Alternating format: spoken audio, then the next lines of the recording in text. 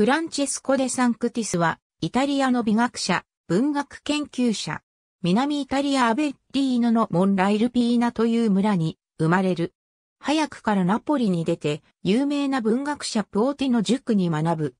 1848年の民族解放の反乱がナポリで勃発した時に教え子と共に乱に参加して逮捕され、1850年から3年間投獄される。ナポリ王国から追放され、一時トリノへ避難する。1855年から論文を各紙に投稿し、トリノ大学でダンテ講義を行う。またこの年、ロマン派の巨匠をマンゾーニに会う。マンゾーニは、デサンクティスの批評活動が、美学の改革や政治覚醒に寄与するものとして高く評価していた。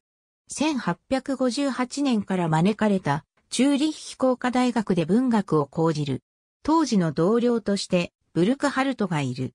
1860年、ジュゼッペ・ガリバルディのナポリ到着後、直ちにアベーリア州の知事に、ついで教育長官に任じられる。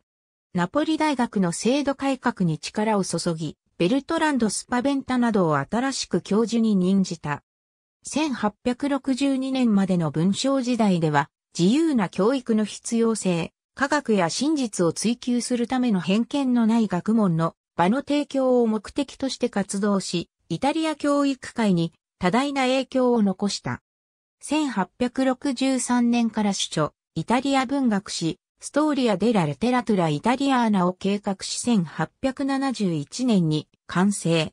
そのイタリア文学史は、ラブリオーラやクローチェ、グラム氏をはじめとした次世代にとって重要な古典となった。その年からナポリ大学の比較文学の教授となり、フォスコロ、パリーニ、レオパルディ、マンゾーニなどを講じた。ナポリで永民。